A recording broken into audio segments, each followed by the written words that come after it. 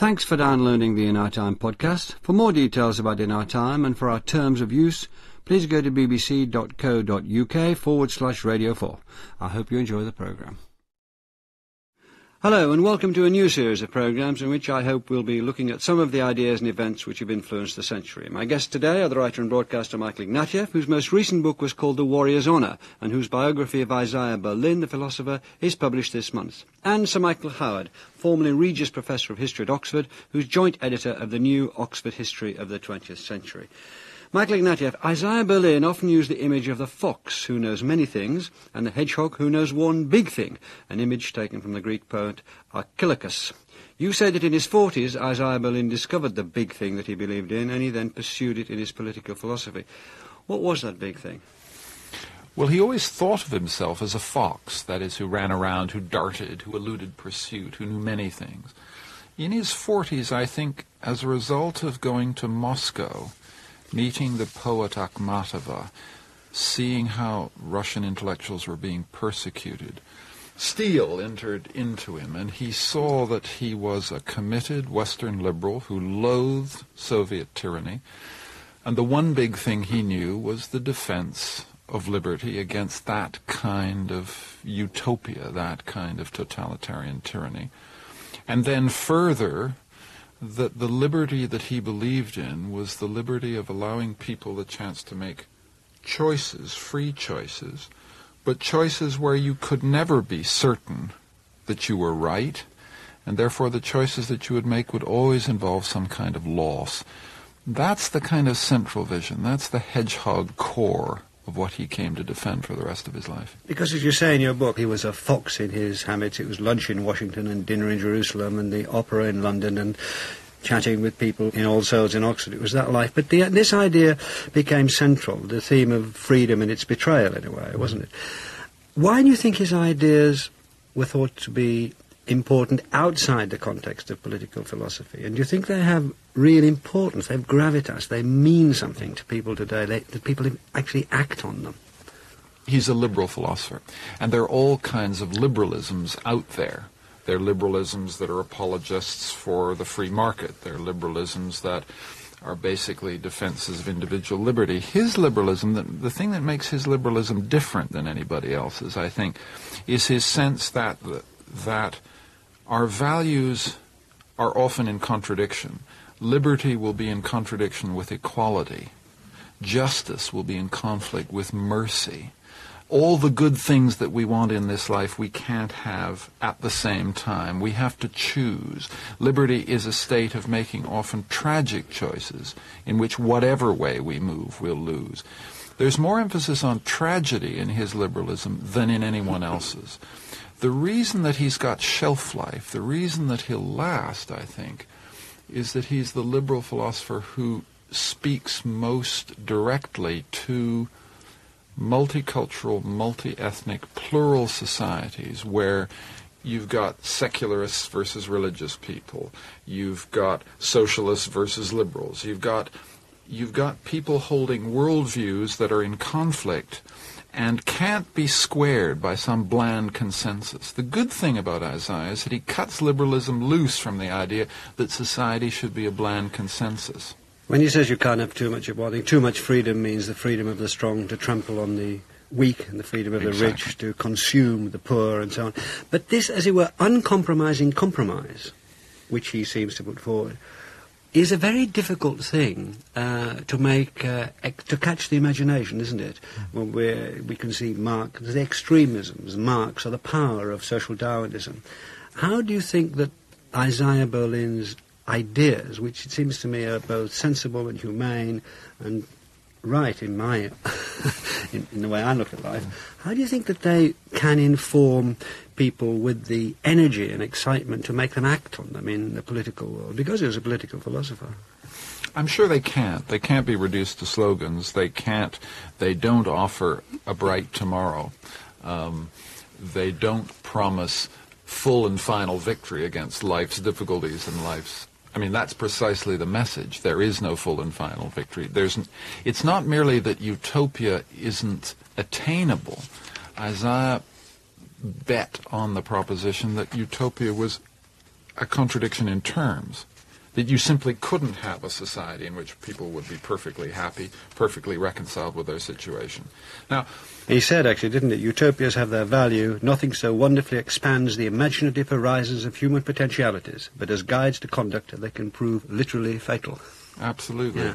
And his whole sense of this century was it was a century that had nearly destroyed itself in its pursuit of utopia. I think he's, he's therefore a skeptic, someone who will be listened to as long as people want to hear skeptical deflations of utopia. But, you know, we've been so proof and so susceptible to utopia in this century, there's no guarantee there won't be long periods of time where people don't want to hear what Isaiah has to say at all. I, I can see uh, Sir Michael Howard nodding, and I'm coming to you in a moment. But, but just one more thing before I leave you, Michael Ignatieff. Um, in the two concepts of liberty, uh, Isaiah Berlin wrote, Over a hundred years ago, the German poet Heine warned the French not to underestimate the power of ideas. Philosophical concepts nurtured in the stillness of a professor's study could destroy civilization. Then he added, If professors can truly wield this fatal power, may it not be that only other professors, or at least other thinkers, can alone disarm them. Our philosophers seem oddly unaware of these devastating effects of their activities. That's a very high claim for thinkers. Do you think that he, in his thinking, justified or testified to that? Oh, Isaiah was very, very self um, critical, and he would have thought that would be putting claims for himself much too high. If that's what you're getting at, it's certainly What right. did he say? He had a life of being accused of being overachieving. Exactly, and he said, "Long may, long may I be overestimated." But, But he do you never. think he's right about other philosophers then? Leave him aside for a moment. I just think that his, there is absolutely no doubt that the 20th century has been driven by ideas. Um, there's a kind of anti-intellectual populism which says that what intellectuals say and write doesn't matter. But the 20th century really vindicates the kind of ways in which a kind of bastardized Darwinism, you know, got into European fascism and led to this kind of survival of the fittest ideology that literally led to the concentration camps. Or, conversely, these utopias of, you know, socialist equality that led again to the Gulag. I mean, he had a very strong sense that this stuff didn't arise simply because people are tyrannous and brutal and cruel. They, these kind of concentration camp endings arise because people believe in certain kind of utopias. They're driven by intellectual projects. And it's those that are the catastrophic beginnings, the bright beginnings of these catastrophic ends. Uh, as Michael Howard, in your, you've co-edited the Oxford History of the 20th Century. There are about uh, two dozen essays by different hands, but you introduce it. And, but this idea of utopia is picked up by Dahrendorf at the end, Professor Ralf Dahrendorf, in his last uh, essay. And you talk about ideas very much in your prologue and in your introduction. Michael Ignatieff has just said that the 20th century was driven by ideas. Do you agree with that? Yes. It was the century of ideologies. Uh, and I think what I tried to show in my introduction and other things came through is why it should have been. Um, it was because the great movement of the last 300 years has been that which began with the Enlightenment, uh, the belief that uh, mankind had emancipated themselves from traditional values which were based fundamentally on a belief in God or a god transmitted by priests whose authority was upheld by and upheld that of um, a landed aristocratic uh, rule uh, with a king at the head of it. Uh, and that all that was smashed by the, um, the encyclopedists of the 18th century. They said that man could live by reason alone. In the 19th century, one saw the modernization process extending over the whole of Western Europe.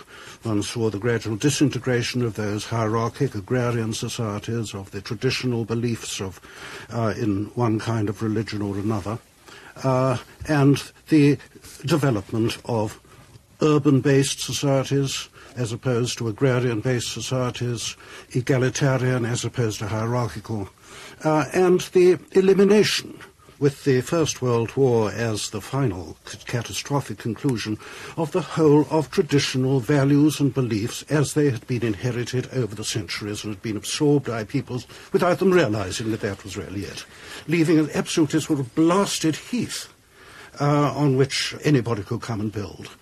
and provide ideas. If they were no longer going to believe in God or King, what But- were they going to believe in? Yes. Is the 20th century's belief in ideology, in some definitive way, which you can tell us, different from, say, the 14th, 15th, 16th century's belief in the ideology of Christianity? Uh, it depends how you do define ideology. I think the difference between the ideology of Christianity is, is something that that had developed slowly and incrementally. Uh, over, But it developed in different ways. It had reinvented itself But it was, in its way, it was a sort of a, to- a, a, a totalitarian belief, um, which had become civilized, that it underpinned a pretty static kind of society, although it also un- underpinned revolutions at various points. Uh, the difference, I think, between, between that and 20th century ideologies is that these were inventing new utopias, as Michael Ignatieff had said, which had to be enforced by new kinds of models, by new kinds of, of compulsion, with the abolition, the renunciation of all the modifications, all the civilized elements which had been built in and gradually devo- evolved by the 18th and 19th century. Why do you think that we, if if you're right, and if the 20th century is, is and if you and Michael Ignatieff, I have to keep calling you by our full names because I have two Michaels, but there you go. If you and Michael Ignatieff are right, if you're right that the 20th century has been peculiarly marked, peculiarly susceptible, peculiarly inflicted on by ideologies, why do you think that is? Is it because of the strength of the ideologies? Is it because of the disruption of the time? Is it because we ourselves have become more susceptible? Why do you think it is? If it is so, why is it so? Well, it is because, as I, I suggested, because of the disruption, if not the actual destruction, of all the older belief systems. And that was particularly so in those countries, particularly Russia, and then later on Germany, where the whole of society had really been torn apart and destroyed by But the you had the, the old belief system, for example, in Spain. Uh, the old belief, the Catholic system in Spain, was more or less intact, and and fascism was superimposed on it. So the old belief system still meant still was Fasc- still maintained. fascism was a very, very minor part of the general reaction in Spain. In Spain, what you, what, what you get basically is an old-fashioned clerical society with a very, very nasty edge built into it, Mm. fighting against the new secularist socialism. Uh, Italy again maintained its religion. So to a great extent did Germany. Britain uh, was a religious society which didn't go that Ah, way. So well, you can't because, have you because, can't have. because see, Brit- Britain has never become an ideological society. Hmm. Very largely because we have been very, very gently changed as opposed to the catastrophic changes of our continental neighbours. If we had lost the First World War and been through the kind of catastrophes that Germany went through in the 1920s, I would not put any money on our remaining a liberal society or avoiding the kind of ideological confrontations that happened elsewhere. Really, I'd, I'd be inclined to be rather more optimistic than you. I hope. I, there's no way of judging it. But uh, Michael Ignatieff, what what do you say to uh, what Michael Howard has said? And can you can I infuse another question here? Do you think that these ideas that you're talking about, and, and Michael Howard's book is talking about Marx and, and Darwin, and you were talking about social Darwin. Do you think these ideas that men take on because they're ideas, and it largely is men, or do you think it takes on because it suits their purposes? You know, like Vlad the Impaler said he was a Christian, but basically it was Vlad the Impaler, and he wanted, you know, he wanted to get his own back uh, for what had happened to him as a child, as we all know, but he also wanted to conquer the enemy, and he impaled. Now, Yes, um, I- I- I think now, how much are we talking about ideas just being the cherry on the cake, just uh, uh, and not being the drive, really? Mm. M- vicious, wicked people are vicious and wicked anyway, and they nab an idea because it helps them along. I think you can examine that question by looking at someone like Lenin. I mean, it's clear that Lenin, on the one hand, was a genuine intellectual, a genuine ideologist. He sat there lonely years in the British Museum in the late 1890s, reading books and, and having thoughts. There's that Lenin, and then there's also the Lenin, the, the ruthless tech technician of power. And I have a feeling that clearly the ideology simply served the ruthless technician of power. But I think that uh, Sir Michael's made a terribly important point about the blasted heath after the end of the First World War. Mm. I mean, Lenin takes over the apparatus of one of the biggest states in the world in a situation of total devastation, total disintegration of the czarist regime, total disintegration of all conceivable available values. He has the mechanisms of state power in the right hand. In the left hand, he has the hot gospel of communism. You put the two together and you've got an absolutely irresistible machine. I don't think you can run that machine, that mm. machine of power, unless you give somebody pe- something to believe in. The two, in other words, you can't, you're suggesting that that you just use the ideology to kind of cover the machine. The ideology makes the machine work. People die for the machine because they believe in the ideology. And that's the truly awful thing about yeah. the 20th century. We've never had a more efficient state machine. We've never had more efficient technology of domination. And we've never had more totalizing ideologies. You put the two together, and you've got something that damn near destroyed the human race in this century. That's why Isaiah always said, you know, this was the worst century in recorded history. And when you asked him what was it that astonished him about his own life, it was simply that he'd survived it. I think you've got to look at individuals concerned. Vlad the Impaler, about whom you're obviously a greater expert than I am, was functioning within a, uh, a certain kind of medieval type of Christianity, uh, and he took the myth as it was, as it was, and functioned within it, and used it to justify what he was doing, as as as people normally do in those kinds of societies. Didn't Stalin? Um, Stalin, again, is somebody who I think is dealing with, as Michael Ignatieff said, uh, a, a, situation where all beliefs have virtually disappeared, uh, and the party then does become virtually a church uh, both in, in Russia and, and indeed in, in, in Nazi Germany. Now, clearly Hitler was somebody who fanatically believed in what he preached. And I should think that somebody like Himmler also did, and one can see various others who did. So you're agreeing with Mark, Michael Ignatieff that in Hitler's case the idea was integral to the power? Oh, completely and, and not in but uh, he could never have got where he did if he did not a have this idea and b was able to uh, act as a sort of an enthusiastic proselytizer for it and organize the ideology in a brilliant, terrifyingly effective way. You write about the social Darwinism of war. Uh, in, in, in, your essay, in this book of, uh, book of essays about the 20th century. And you talk about nationalism as the ultimate, war as the ultimate test of the fitness of nations to survive. Now, Isaiah Berlin uh, talked a great deal about nationalism and was against it, although he was for groups, as it were. You also remarked that nationalism seemed to have come to an end about 100 years ago, yet here it is, uh, mm-hmm. still a power at the end of the century. Could you tell us why you think, having it having been thought to come to an end 100 years ago, it's still flourishing and so dynamic and so disruptive and perhaps also positive. Can, can we discuss that? Well, there are two different, um, I suppose nationalism is the same wherever it is, but it, it, it uh, appears in different guises in different kinds of societies. For Western Europe, on the whole, nationalism uh, reinforced the existing social and political structure and was used to do that what had previously been dynastic loyalties to the House of Hohenzollern or the, the, the, the House of Bourbon, what, what, whatever it may have been, um, was reinforced by nationalism. God, king, and country all came together. Uh, and if there wasn't a king, well, it's just too bad. We just had La Patrie, and this was equally, equally good. They were reinforcing these large, solid, modernizing societies. In Eastern Europe, where there was not an effective, coherent society already going. Um, the dynastic loyalty to the Habsburg family was not enough to hold the empire together.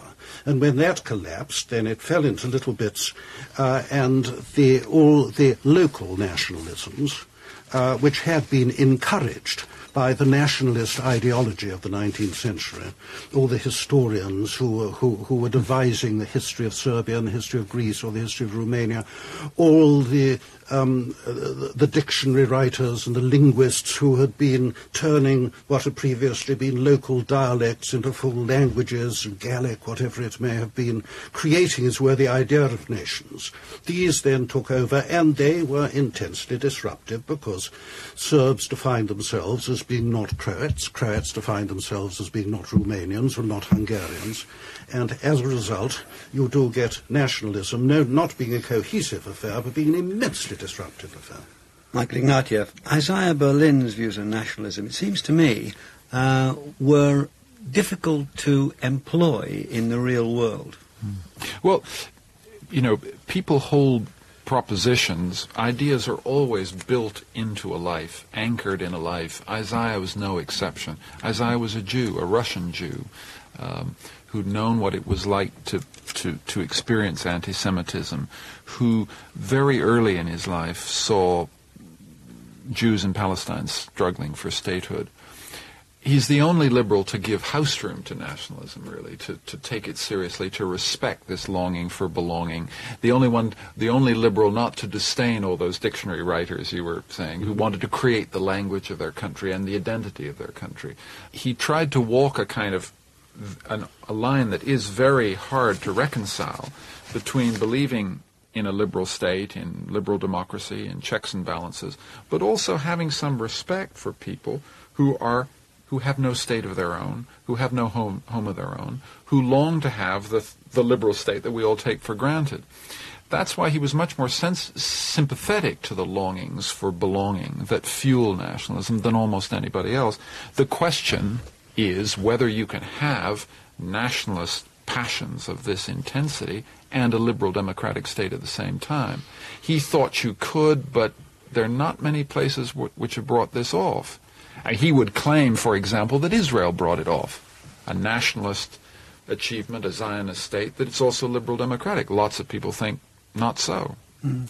Michael Hahn, can I bring you to the foreword of the book, in this 20th century book? You said that the 20th century opened with a, quote, paradoxical combination of hope and fear. Could you not say the same of the opening of the 19th century? I think that neither of those, although both those sentiments were there, they were neither of them so widespread, um, because the intelligentsia or the elites, or whatever you like to call them, uh, were far smaller and, and in a way, I think, far, far less influential. Yes, certainly there was enormous optimism on the part of the Enlightenment and, and, and their, their survivors, people like Goethe and others who were, who were indeed still, still around, that things are improving, that the force of reason is becoming stronger, that the old regime is being gradually destroyed. I am not aware, and this is probably my ignorance of intellectual history, of the same kind of dread about what the future might bring. Mm.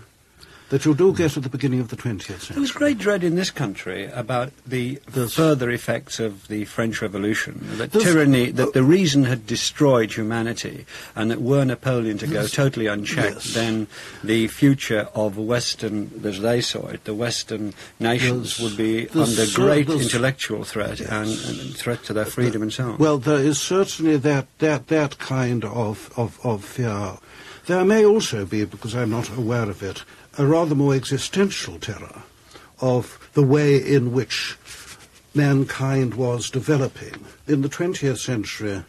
To that, there is, that is far more extreme. There is, there, there is the sense that the whole of the past has been rubbished, that um, everything which we have brought up to believe is no longer valid that uh, the philosophers, the writers, the artists, all these people are tearing up traditional mm. beliefs by their roots, and heaven knows what is going to happen to mankind mm. as a result. Yes, that was picked up in a, in a sympathetic review by Norman Stone of your book, where he did point out that uh, at, uh, at the end of the as you say, at the beginning of the of this century, 100 years ago, there was the big theory, big ideas, a theory of relativity, there was Schoenberg and music. There was Freud who looked at dreams and said that life is about sex and money.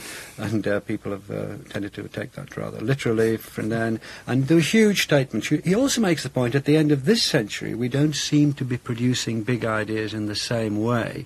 Would you say that uh, at the end of the 20th century, the big ideas have, have shrunk or disappeared or slipped through our fingers? I think that we are now very frightened of big ideas. Mm that we've seen what big ideas do lead us to. Utopia was a very big idea. Now I think that we are rather happy that there are no longer any, any big ideas of that kind to, uh, to mislead us. We're rather happier to become, in, not quite in, the, in, in Isaiah Berlin's way, we're rather happier to become hedgehogs, uh, sort of um, hud, hud, huddling down with the, the one big thing which we know. Uh, what is the one big thing which we know? Well, the big thing which most people know is how to, their own lives, their own little patch, um, their own ideas of how to live their lives. uh, rather than, and, and, and I think there's now everywhere a great desire to go back, as it were, to a kind of domestic type of womb, because we're so alarmed at the threats which are being posed to it by the other thing, which is globalization. But in your book, I mean, in this, for instance, some of the essays are saying that is impossible because of globalization. Of course, it's, of course it's It is more impossible than it has ever been. I, alas, that is true. and That is why people are hanging on to their own little patches with a sort of far greater degree, as it were, of fear uh, than might otherwise be the case. Michael Ignatieff. I think the age of utopia is over, but I do think that everywhere I look, people are trying to the one lesson people have drawn from the 20th century is we better build some firewalls, some protection against human power. We've got to protect the individual. We've got to have human rights. We've got to protect people against the abuse of science and, and, and the abuse of political power. The sense that we've got to have self-limiting ideologies, ideologies that stop at the human subject, that say this far and no further. And that, I think, was, I mean, to, beat my drum again, something that Isaiah Berlin really did fight for and believe. He, he believed in the idea that the, the heart of human reason was to put limits to the exercise of human violence. And if we can do that, we'll make it through the next century, but only if we do. But as, as, Michael Howard says in his book, we now have to live with the fact that we can't have a, a big war again ever because of nuclear.